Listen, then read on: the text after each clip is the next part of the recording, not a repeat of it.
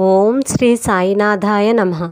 ఈరోజు పారాయణలో సాయిబాబా సామాన్య మానవుల వలె ఎలా ప్రవర్తించేవారో చదువుకుందాం. సాయిబాబా మూడున్నర మూరల దేహముతో కనిపించినప్పటికీ వారు సర్వుల హృదయముల అందు ఉందురు. అంతరంగమున వారు పరమ నిరీహులు. అంతరంగమున వారు మమకార రహితులైనప్పటికీ బాహ్య దృష్టికి మాత్రము అటుల కనిపించడి వారు కారు. తమ భక్తుల యోగక్షేమముల కొరకు ఎంతగానో తాపత్రయపడేవారు. వారి అంతరంగము శాంతికి ఉనికిపట్టు అయినను బయటకు చంచల మనస్కుని వలె కనిపించుచుండెను. లోపల పరబ్రహ్మ స్థితి అందు ఉన్నప్పటికీ బయటకు దెయ్యము వలె నటించుచుండెను. లోపల అద్వైత భావము బయటకు మాత్రము ప్రపంచ విషయముల అందు ఆశ గలవాని వలె కనిపించుచుండెను. ఒక్కొక్కప్పుడు అందరినీ ప్రేమతో చూసేడివారు. ఒక్కొక్కప్పుడు వారిపై రాళ్ళు విసురుచుండేడివారు.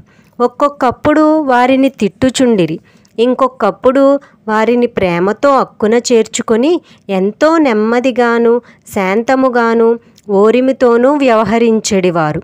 బాబా ఎల్లప్పుడూ ఆత్మానుసంధానమునందే మునిగి ఉండేడివారు.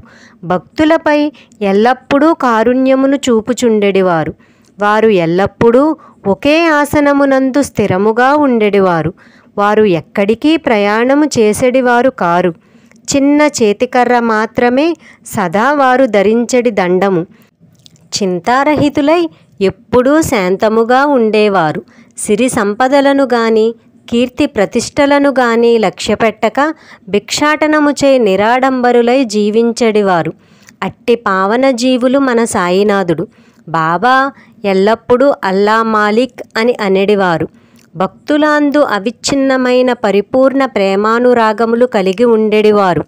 ఆత్మజ్ఞానమునకు ఆయన గని దివ్యమైన ఆనందమునకు ఆయన ఉనికి పట్టు సాయిబాబా యొక్క దివ్య స్వరూపము ఆద్యంతములు లేనట్టిది. విశ్వమంతయు ఆవరించినట్టిదైన ఆ పరబ్రహ్మతత్వమే సాయిబాబా అవతారం మనము ఎంతో పుణ్యము చేసుకున్న అదృష్టవంతులము వలననే ఆయన నిధిని పొందగలిగాము. శ్రీ సచ్చిదానంద సమర్థ సద్గురు సాయినాథ్ మహారాజ్కి జై. ఓం సాయిరం ఓం సాయిరం ఓం సాయిరం